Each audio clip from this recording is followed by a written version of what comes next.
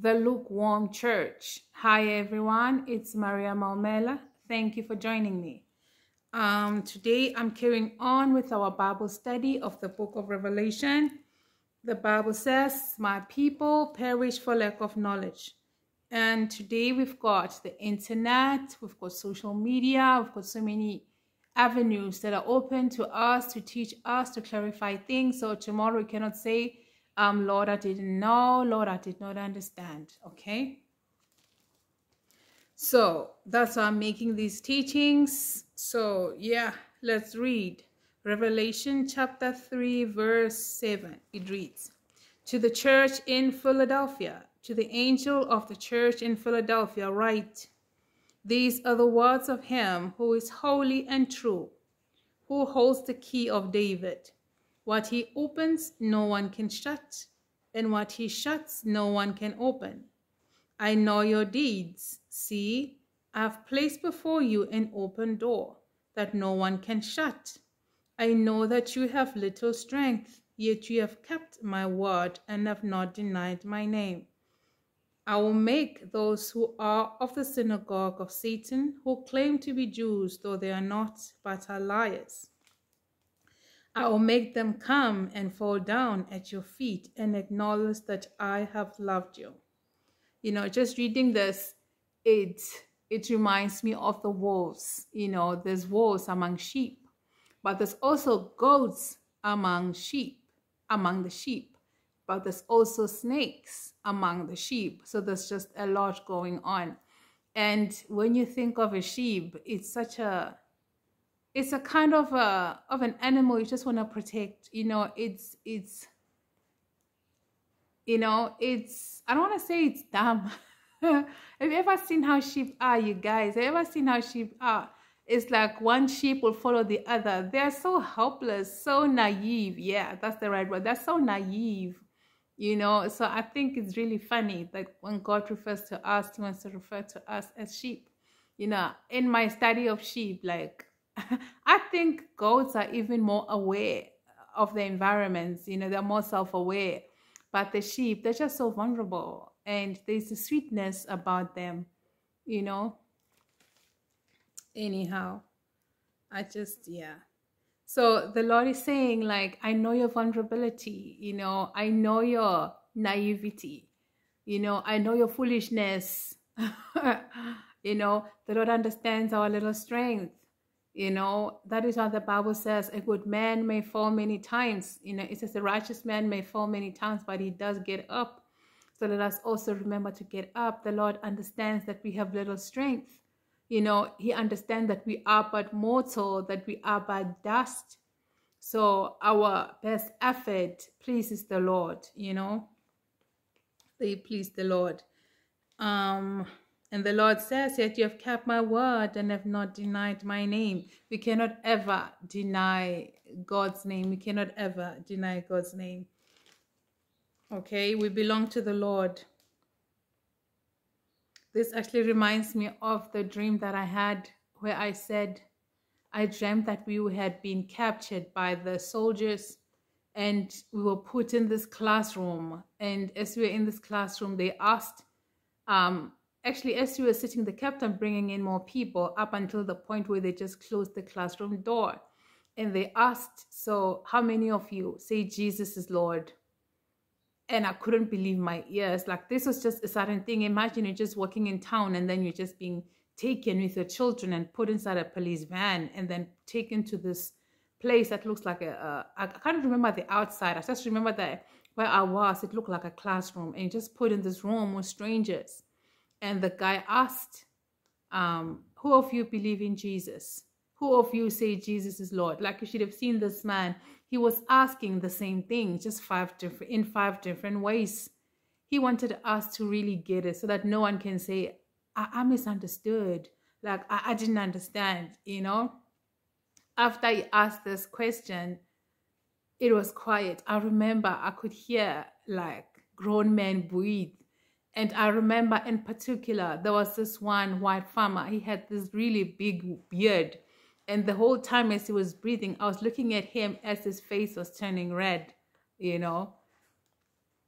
and that's that's the the thing in the dream that i shared i never really gave the description of the people that were around me so i think i'll take a liberty to tell you of the different characters that were in the in that dream i already shared the dream so i'm not rehashing the rest of the dream okay so um as i was looking at him like my heart was beating up so fast i felt like my heart was beating right here you know so i could hear just grown men breathing hard like I'm like, no, he didn't. Like, this is not how it was supposed to happen.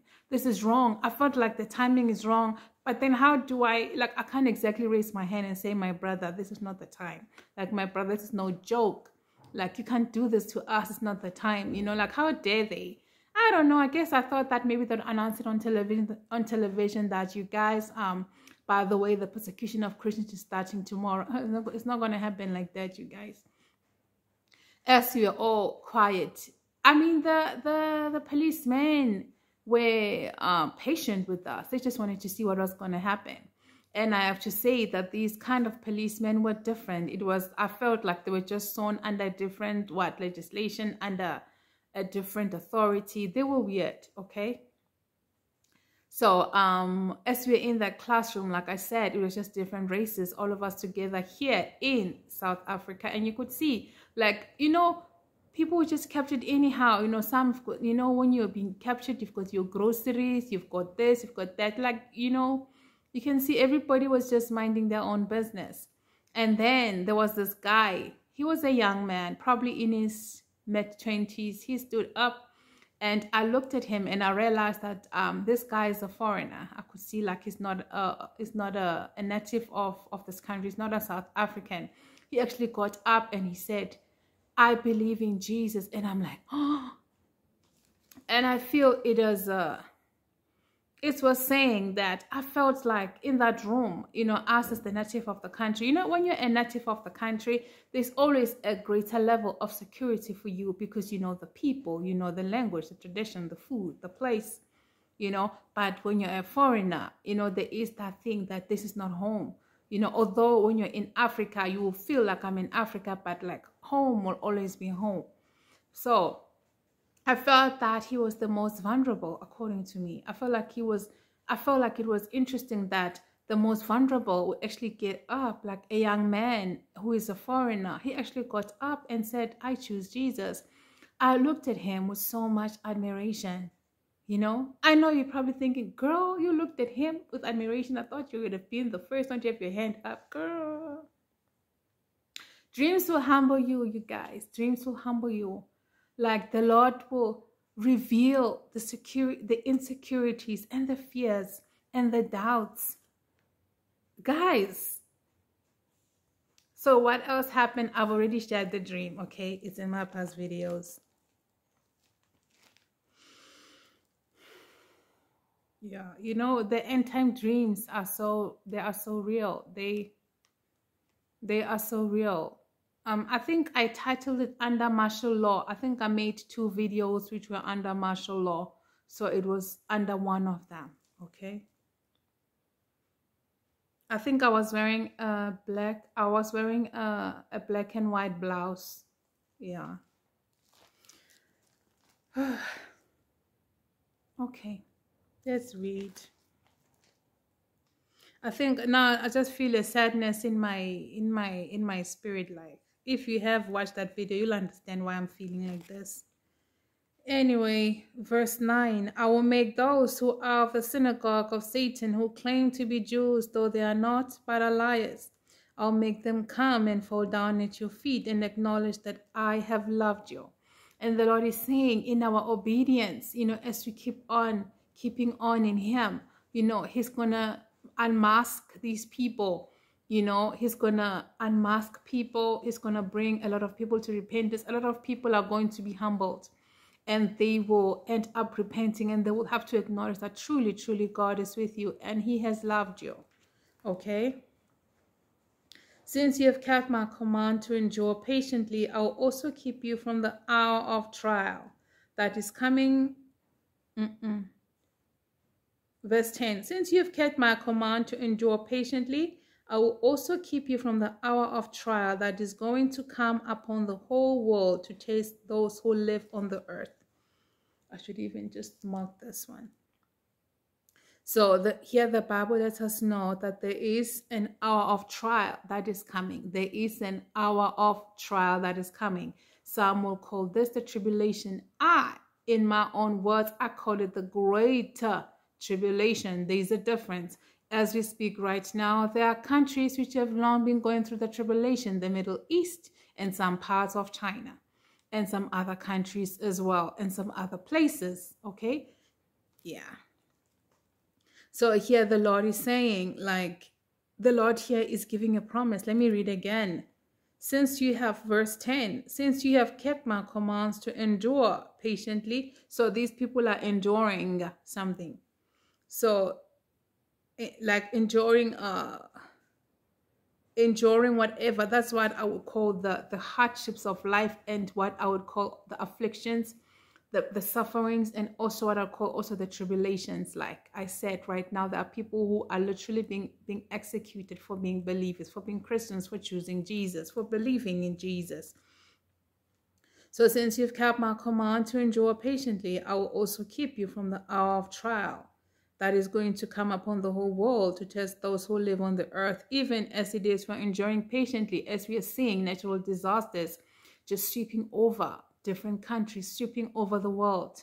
Every country its own. We are all just speechless. Our jaws are, are hitting the ground. Things are happening so fast. Like we just wanna like you know when you're in this country, wanna like I wonder what's happening in that like what calamity is another country facing that's where we're at. You know, we are all like speechless. Verse 11, I am coming soon. This is so, this is so refreshing to hear. I am coming soon. Hold on to what you have so that no one will take your crown. Hold on to God's love for you and know that he will come for you, you know, and that um heaven is a promised place for us you know just keep walking your walk in christ keep walking in holiness you know. When you fall get up ask god for forgiveness but you need to keep on walking okay? Um verse 12 him who overcomes i will make a pillar in the temple of my god. Never again will he leave it I will write on him the name of my God and the name of the city of my God, the new Jerusalem, which is coming down out from out from heaven from God. And I'll also write on him my new name. He who has an ear, let him hear what the Spirit says to the churches. Okay. Um, do I want to do the next one? Okay, let us do the next one. This is the last one. To the church in Laodicea, this is still Revelation chapter 3, verse 14. To the church, to the angel of the church in Laodicea, write: These are the words of the Amen, the faithful and true witness, the ruler of God's creation. I know your deeds, that you are neither cold nor hot. I wish you were either one or the other. I feel a lot of us fall in the in this group, okay? So, because you are lukewarm, neither hot nor cold, I'm about to spit you out of my mouth. Okay? Um, you say I'm rich. Let me correct that. When I said a lot of us fall in this group, it would sound demeaning to say a lot of you fall in this. Or should I rather put it and say a lot of the people in the church fall in this category? Okay. like I've, like I've already said, if the rapture were to happen, a lot of people are going. This 50% is going to heaven. Let, let me clarify that, okay? This 50% is going to heaven and 50% is going to hell. Let's clarify the 50%. These 50% does not necessarily mean they're going to be raptured. There are people who are going to go through the great tribulation and will make it through. I, don't, I think, which chapter is it? I can't even wait to get there. Yeah, anyhow. Verse 17 You say, I'm rich. I have acquired wealth and do not need a thing, but you do not realize that you are wretched, pitiful, poor, blind, and naked. I counsel you to buy from me gold refined in the fire, so you can become rich, and white clothes to wear, so you can cover your shameful nakedness, and salve to put on your eyes, so you can see. Verse 19 Those whom I love I rebuke and discipline, so be earnest and repent. Verse 19 is just the Lord reminding us that in this life, you know, if we do not. Uh, like every once in a while, if we do fall out, the Lord is gonna put us back in line. Like He's making that clear because He loves us, okay? and Unlike leaving us to just make our way to the grave, make our way to hell. Verse 20 Here I am. I stand at the door and knock. If anyone hears my voice and opens the door, I will come in and eat with him and he with me. So in this verse, the Lord is saying, I love you. I always loved you. I created you for me, for my glory. You were born to shine. You were born to be happy. Just that you were born into a world that was sinful because of what happened long before you were born. But I sent my son, whom I loved, to die on the cross for you. So repent of your sins. Repent of your sins. You know, if you believe that Jesus Christ is Lord and Savior and that he was born of a virgin and he came on this earth and he died on the cross and you confess it with your mouth, then you are saved. You know? To him, to him, verse 21, to him who overcomes, I will give the right to sit with me on my throne just as I overcame and sat down with my Father on his throne. He who has an ear, let him hear what the Spirit says to the churches. Hallelujah. We are done with the letters to the churches. Now we can get to the meat. I feel with the letters to the churches, the Lord was trying to get us to calm down.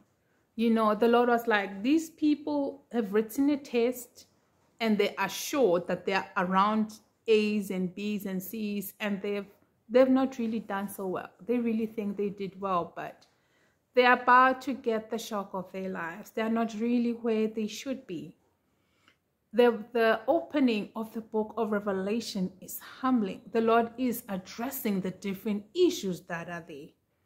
You know, the Lord is addressing the different issues that are there. Like people, look at your hearts, look at your churches, Look at your leaders. Look at your hearts. Look at your own personal lives. Nothing is aligning. Nothing is straight. Some of you, I can see, yes, you're doing good, but oh my gosh, look at that. What am I supposed to do with that? The Bible says, I am holy, therefore be holy. You know, therefore be perfect as your heavenly Father is perfect. Y'all, I'm quoting the word. That's what the Lord says. So we strive for perfection. You already read that the Lord says, I know you have little strength.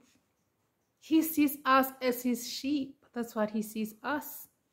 You can imagine the gentleness and the approach and the attitude that he has towards us, you guys. So I look forward to now getting to some serious teachings. You know, okay, I'm not saying this is not serious. I'm just saying this is just the Lord trying to center us. Like before you even start claiming things, like let's just start it there. This foundation, what you got going on right now is not working. You can go on now to read and hear about what's coming. But first, let us start with this very basis. Like you see where you're at, you see what's happening, it ain't working. So with these first churches, the Lord is saying, you need to get your house in order, my children. My sheep, my sheep you're busy talking about rapture this and even the audacity now to be um, on on already on the chapter of the antichrist yet our own houses are not are not in in order. You know we are already now there on the the what? Being sealed due to what? Now we are talking about being sealed. Now we even see ourselves as part of the 144,000 like the lord is saying like are you guys even serious? Are you guys even serious? Get your house in order. So before we even rush to the other chapters of the Bible, let us first let us let us chill. Let us chill right here in the churches, in the letters to the churches. The Lord is saying, like, my people, you need to get your life straight. You need to get your lives right. You see, and it's amazing that the um the the dream that I had where I said we were put in the classroom and we were asked um like who who of you belongs to Jesus? Who of you believes in Jesus? Like I said was said in so many ways you couldn't have said um I, I misunderstood or I don't know English is not my mother tongue. It was so clear. I mean a child would have understood that from the very first time, you know, from the very first question, because the men are saying the same thing in different ways. So, with me sharing that dream, it's me letting you know that the Lord is saying, You people, you think you're ready. I understand you love me, you pray. But there are some things that needs to be straightened out. There are things that needs to be straight. In that dream, it felt so real. Like it felt so real. It was so real. And the sad part about it was that for the next coming days, I was not okay. I was not myself because end time dreams are real and they hit as hard. I felt like I had turned my back on the Lord and the guilt that I was feeling. I couldn't even share it with someone. It was a burden that was on my shoulders. And I kept on praying to the Lord to just remove this burden off of my shoulders. And when I felt like, okay, I'm on the clear now, I'm starting to feel like myself again you know it was then that i was actually um, free to even share the dream you know and i knew the lord wanted me to share the dream with these people okay? Yeah so that's enough for this video. So thank you guys. God bless